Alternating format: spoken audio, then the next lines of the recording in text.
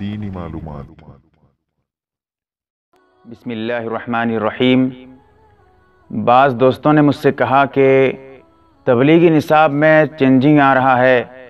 کوئی جو ہے کہہ رہا ہے کہ فضائل اعمال پڑھو، کوئی کہہ رہا ہے کہ نہیں منتخب حدیث پڑھو۔ تو کیا کرنا چاہیے؟ انہوں نے کہا کہ آپ اپنی رائے ہمیں بتائیں۔ بہت سارے حضرات، تقریباً تیرہ، چودہ لوگوں نے مجھ سے کہا کہ آپ اس بارے میں بتائیں کہ ہمیں کیا کرنا چاہیے؟ میں یہاں جو میں بتاؤں گا آپ کو، یہ نہیں کہوں گا کہ آپ ایسے کریں، ویسے کریں۔ جو میرے سمجھ میں ہے ابھی اور جو مناسب لگ رہا ہے، یاد رکھیں، یہاں پر میں نے اختلاف کی بات کروں گا، نہ کسی پر تانازنی کروں گا یا کچھ اور باتیں کروں گا۔ یہاں پر میں صرف ایک اصولی بات آپ کو سمجھانا چاہوں گا کہ آپ جو ہے صحیح بات سمجھ پائیں کہ اصل چیز کیا ہے۔ سب سے پہلی بات تو یہ ہے کہ تبلیغی نصاب میں اگر آپ منتخب حدیث داخل کرنا چاہتے ہیں، منتخب حدیث داخل کر کے اس کو جو ہے نصاب میں پڑھانا چاہتے ہیں، تبلیغ جماعت والے پڑھنا چاہتے ہیں، تو اس پہ پرابلم کیا ہے، کیا باتیں ہیں؟ اس پہ جو ہے پریشانی کیا ہے؟ میں مختصر بتاؤں گا، لیکن اصولی بات، اگر آپ مکمل باتیں سنیں گے تو انشاءاللہ صحیح طریقے سے آپ بات سمجھ پائیں گے۔ سب سے پہلی بات یہ ہے کہ منتخب حدیث، یہ جو ہے، اسے میں غلط نہیں کہہ رہا ہوں۔ تاکہ میں پہلے جو ہے واضح کر دوں، تاکہ آپ یہ نہ سمجھ لیں کہ میں منتخب حدیث کو غلط کہہ رہا ہوں۔ میں کہہ رہا ہوں کہ منتخب حدیث غلط ہے ایسا نہیں ہے۔ یہ بات یاد رکھیں، میں منتخب حدیث کو غلط نہیں کہہ رہا ہوں۔ منتخب حدیث بھی صحیح ہے۔ جب میں نے کچھ باتیں اس کے بارے میں کی ہیں، تو بعض دوستوں نے مجھ سے کہا کہ اگر آپ منتخب حدیث کو کہہ رہے ہیں کہ مت پڑھیے، جیسے کہ میں بھی آپ کو بتاؤں گا، تفصیلی بات بتاؤں گا۔ اور یقین رکھیں، اگر غور و فکر سے سنیں گے تو پھر ضرور سمجھ جائیں گے کہ صحیح بات کیا ہے، جو ہے مطلب کہ آپ تک مطلب آپ کو کیا پڑھنا چاہیے؟ تبلیغی جماعت والوں کو کون سی کتاب پڑھنی چاہیے؟ وہ آپ سمجھ پائیں گے۔ تو میں نے کہا ان سے، جو بعض دوستوں نے مجھ سے کہا کہ آپ جو ہے منتخب حدیث کو کہہ رہے ہیں کہ تبلیغی نصاب میں داخل نہیں کیا جائے۔ اس کی وجہ وہ کہہ رہے ہیں کہ جیسے کہ میں نے تو دلائل سے بات چیت کی ہے، میں بہرحال یہاں پر یہ کہنا چاہوں گا، انہوں نے کہا کہ اس کو کیوں ہٹانا چاہتے ہیں؟ میں نے کہا کہ نہیں، یہ تو مناسب بات یہی ہے دیکھیں میں آپ کے سامنے دلیل پیش کرتا ہوں۔ لیکن ان لوگوں نے پھر سے کہا کہ تو منتخب حدیث میں کیا غلط باتیں ہیں؟ آپ منتخب حدیث کو پڑھنے کے لیے کیوں منع کر رہے ہیں؟ کیا منتخب حدیث میں غلط باتیں ہیں؟ کیا منتخب حدیث معتبر کتاب نہیں ہے؟ میں نے مختصر الفاظ میں ان کا جواب دیا۔ میں نے کہا کہ اگر یہ بات ہے، تو آج سے یہ کرو کہ تفسیر کی کتاب بھی نصاب میں داخل کر دو۔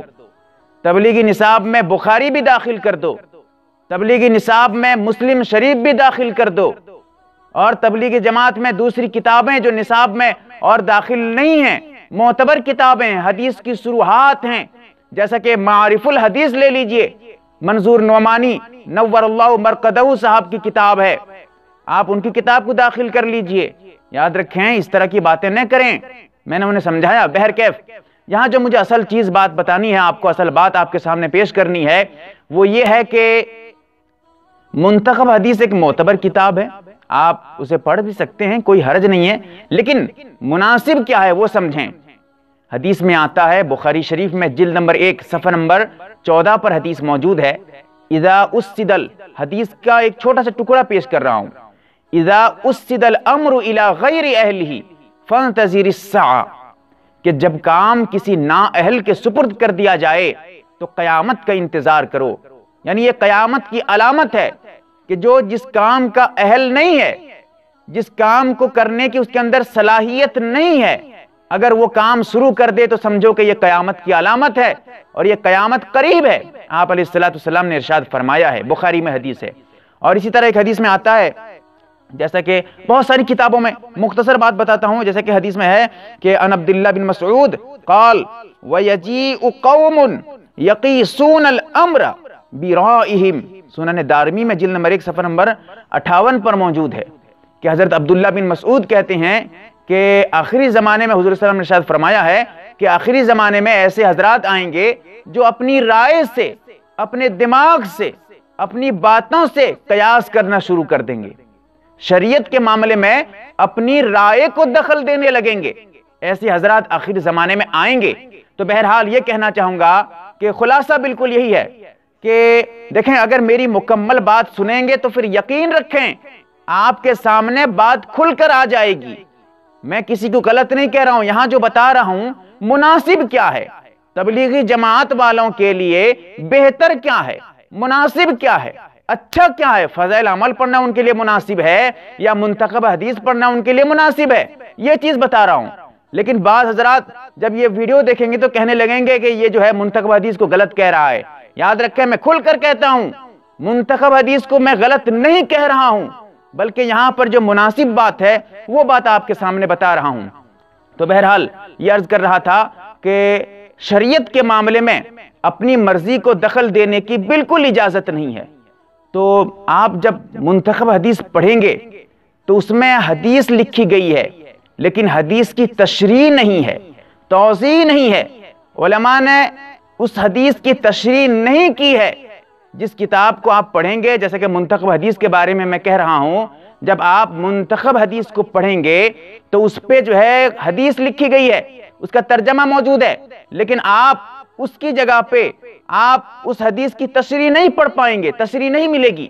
لیکن آپ اگر فضائل اعمال پڑھتے ہیں، اور یاد رکھیں، فضائل اعمال جو کتاب لکھی گئی ہے یہ حضرت جی یعنی مولانا الیاس صاحب نور اللہ مرکدعو نے، مولانا زکریہ صاحب رحمت اللہ علیہ سے کہا کہ آپ تبلیغی جماعت کے لیے چھ نمبر پہ ایک مستقل کتاب لکھیں۔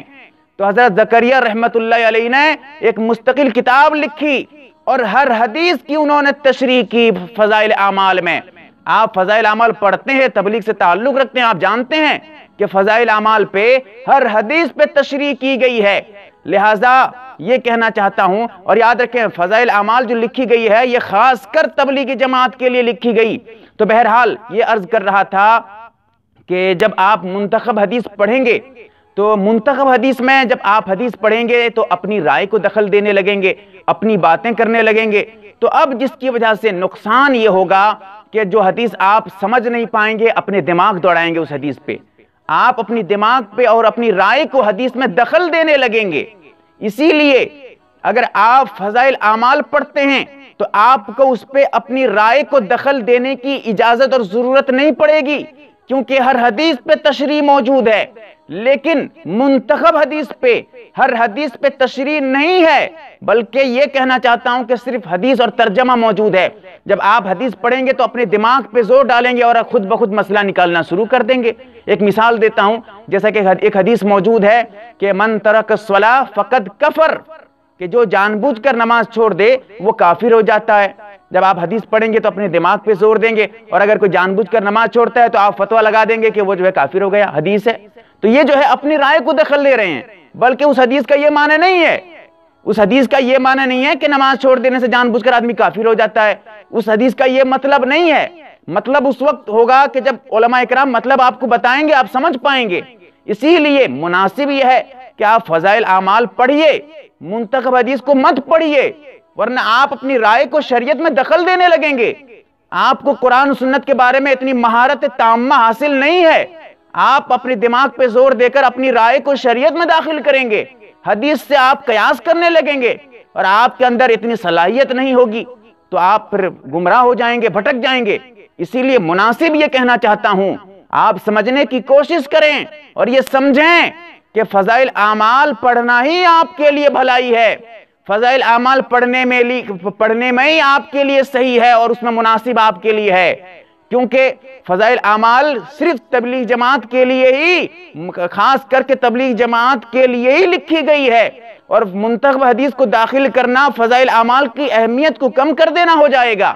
اور ایک چیز بتاتا ہوں آپ کو کہ یہ جو فضائل اعمال ہے، آج اگر کوئی آ کر کہہ رہا ہے کہ منتخب حدیث داخل کرو نصاب میں پھر دس سال کے بعد کوئی آئے گا، کہے گا کہ فلاں کتاب کو نصاب میں داخل کرو۔ پھر دس سال کے بعد کوئی آئے گا، وہ کہے گا فلاں کتاب کو نصاب میں داخل کرو۔ یہ ایک پھر کھلواڑ بن کے رہ جائے گا۔ نصاب میں داخل کرنا ہے مسورے سے داخل کیا جائے گا، ایک الگ چیز ہے، اس پہ ایک لمبی باتیں ہوں گی۔ انشاءاللہ اس بارے میں بھی بتاؤں گا۔ لیکن یہاں پر جو ہے پھر ایک عجیب سا معاملہ۔ جو چل رہا ہے، مولانا رحمت اللہ علیہ یعنی مولانا الیاس صاحب رحمت اللہ علیہ نے جس طرح کام شروع کیا ہے، اسی انداز سے چلائیں گے تو آپ تبلیغی جماعت والے کہلوائیں گے۔ ورنہ تبلیغی جماعت والے کہلوانے کے حقدار نہیں ہوں گے۔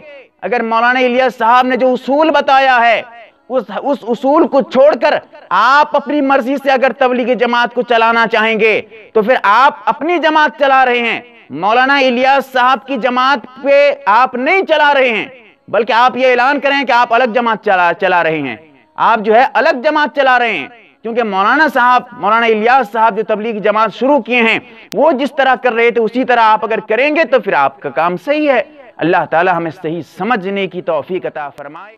ہر طرح کی دینی معلومات حاصل کرنے کے لیے ہمارے چینل کو سبسکرائب کریں اور بیل والے نشان کو دبائیں۔ نیز یاد رہے، ہم آپ کے لیے ہر دن نئے نئے ویڈیوز لاتے رہیں گے۔